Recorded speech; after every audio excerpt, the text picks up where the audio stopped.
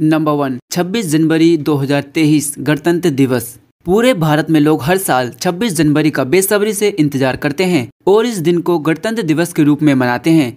यह एक ऐतिहासिक घटना है क्योंकि 26 जनवरी 1950 को भारत का संविधान लागू हुआ था।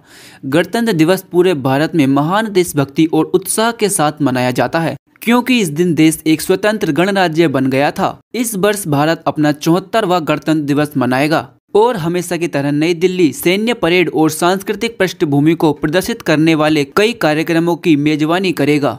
नंबर टू, गणतंत्र दिवस क्यों मनाते हैं?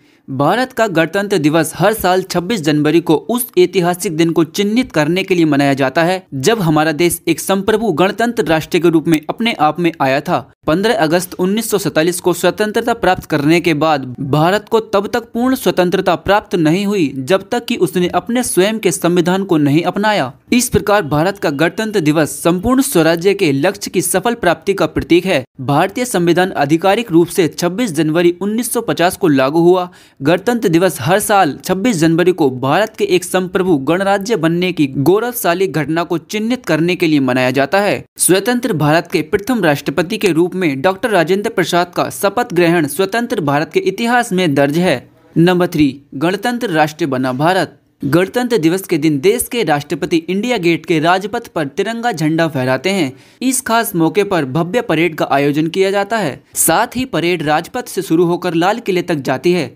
भारत 26 जनवरी 1950 को सुबह दस बजकर अठारह मिनट पर एक गणतंत्र राष्ट्र बना। उसके ठीक छह मिनट बाद दस बजकर चौबीस मिनट पर डॉक्टर राजेंद्र प्रसाद ने भारत के पहले राष्ट्रपति के रूप में शपथ ली थी। गणतंत्र दिवस के खास मौके पर हर साल इंडिया गेट से लेकर राष्ट्रपति भवन तक राजपथ पर भव्य परेड भी होती है। इस परेड में भारतीय सेना वायुसेना नौसेना आदि के विभिन्न बल भाग लेते हैं। नंबर फोर, कहाँ मनाया गया पहला गणतंत्र दिवस? स्वतंत्र भारत में पहली बार 26 जनवरी 1950 को पहला गणतंत्र दिवस मनाया गया था। इस दिन देश का संविधान लागू हुआ था। पहली बार गणतंत्र दिवस परेड का आयोजन पुराने किले के सामने स्थित इरविन स्टेडियम में किया गया। वर्तमान में दिल्ली चिड़ियाघर इसी स्थान पर है।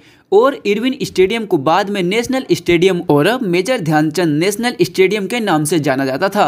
नंबर फाइव कब मनाया गया पहला गणतंत्र दिवस? 26 जनवरी 1950 को भारत को अपना पहला राष्ट्रपति भी मिला। इस दिन सुबह दस बजकर अठारह मिनट पर देश का संविधान लागू होने के छह मिनट बाद, यानी दस बजकर चौबीस मिनट पर डॉक्टर राजेंद्र प्रसाद ने राष्ट्रपति पद की शपथ ली और प्रथम राष्ट्रपति डॉक्टर राजेंद्र प्रसाद ने इरविन स्टेडियम में देश का तिरंगा फहराया। इसके बाद उन्होंने छब्बीस जनवरी को राष्ट्रीय अवकाश भी घोषित किया। नंबर सिक्स गणतंत्र दिवस का इतिहास। पूर्ण स्वतंत्रता की अवधारणा ने 31 दिसंबर उन्नीस सौ उनतीस को भारतीय राष्ट्रीय कांग्रेस के लाहौर अधिवेशन में जड़े जमा ली। जिसकी अध्यक्षता पंडित जवाहरलाल नेहरू ने की थी। इस ऐतिहासिक सभा में सभी नेता एक साथ ब्रिटिश शासन से पूर्ण स्वतंत्रता की शपथ लेने पहुँचे। सैवनी अवज्ञ आंदोलन के बाद 26 जनवरी 1930 को पूर्ण स्वराज्य दिवस के रूप में मनाया गया और भारतीय राजनीतिक दलों और स्वतंत्रता सेनानियों द्वारा मनाया गया। बाद में 9 दिसंबर 1946 को भारत की संविधान सभा ने प्रस्तावित संविधान की दिशा में काम करने के लिए कई समितियों की नियुक्ति की। कई बहसों और संशोधनों के बाद भारतीय संविधान को आधिकारिक तौर पर तीन साल बाद 26 नवंबर उन्नीस सौ उनचास को अपनाया गया था। नंबर सेवन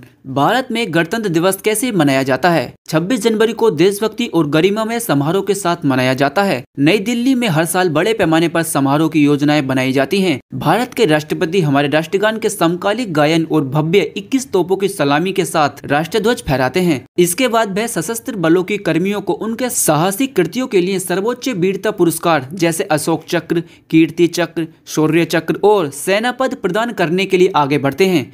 भारत के प्रधानमंत्री इंडिया गेट स्मारक पर श्रद्धांजलि अर्पित करते हैं और उन सैनिकों की याद में दो मिनट का मौन रखते हैं जिन्होंने अपने देश की स्वतंत्रता के लिए बलिदान दिया। नंबर एट, गणतंत्र दिवस समारोह। भारत भर में गणतंत्र दिवस समारोह दिन के महत्व को मनाने के लिए सार्वजनिक कार्यालय और स्कूल बंद रहते हैं। गणतंत्र दिवस देश के सभी हिस्सों में मनाया जाता है, जिसकी शुरुआत ध्वजारोहण समारोह और स्कूल और कॉलेजों के छात्रों द्वारा परेड के साथ होती है। लोग तिरंगे की टी शर्ट और बैंड पहनते हैं, जबकि सरकारी इमारतें और घरों पर राष्ट्रीय ध्वज भी फहराते हैं। इस दिन लोग प्रेरक कविताएँ और देशभक्ति संदेश लिखते हैं और उन्हें दोस्तों, रिश्तेदारों और परिचितों को भेजते हैं। हर शहर और कॉलोनियों में रहने वाले लोग गणतंत्र दिवस को पूरे उत्साह और भागीदारी के साथ मनाते हैं। तो आज के वीडियो के लिए सिर्फ़ इतना ही। मैं मिलता हूँ आपसे अगले वीडियो में। तब तक के लिए अपना ख्याल रखें। जय हिंद, जय भारत। भारत माता की जय।